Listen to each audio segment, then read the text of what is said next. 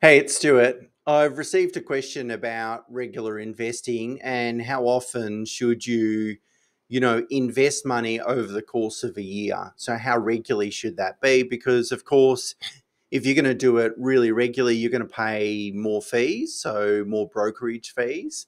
And specifically, the listener has asked uh, if I'm going to invest across four different ETFs and I'm uh, making super contributions uh, every month, you know, should I put one quarter into each of those ETFs every month, uh, therefore have 48 trades uh, per year? The, the whole idea around dollar cost averaging is that you sort of spread money in over into a market over time. Uh, I've done the research and numbers and looked at what happens if you invest on the best day of the month, so the cheapest day of the month, the worst day of the month, the most expensive one, of course, uh, or just some random date like the middle of the month. Um, and in the short term, it can have a little bit of impact on returns, say, you know, 12 months or less.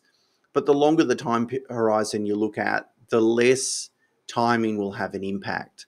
So if you're investing your super monies and you're, say, 40 today, uh, 40 years old, uh, and you can't access super till you're 60, so in reality, uh, investing those monies uh, every three, four, every six months, even, um, isn't going to have much of an impact to your overall return.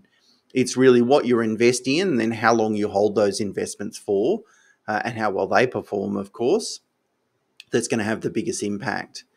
Uh, so that's the reality of the situation over a very long period of time.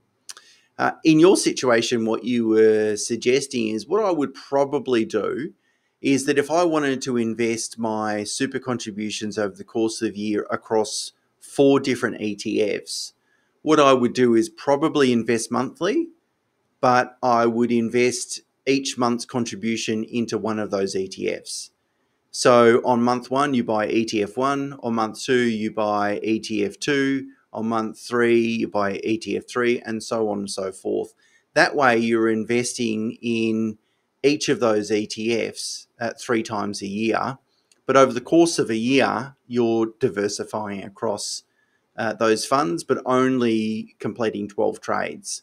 Uh, and that should help minimize your costs, but also give you give you some level of uh, timing diversification, so of spreading those monies across uh, three trades in any one ETF. Um, and and still give you that sort of longer term diversification. So to my mind, I think that's probably the the, the best balance between uh, spreading those those monies across those four ETFs on a semi regular basis, uh, acknowledging that the evidence, which uh, I always like to encourage investors take an evidence based approach the evidence tells us that in the long run, and super is a very long term investment, it makes no difference. Even if you invested just every six months, in 20 years from now, it's not going to have any impact or any material impact on your investment returns. Great question. Uh, so thanks for it. And I hope that helps. Cheers.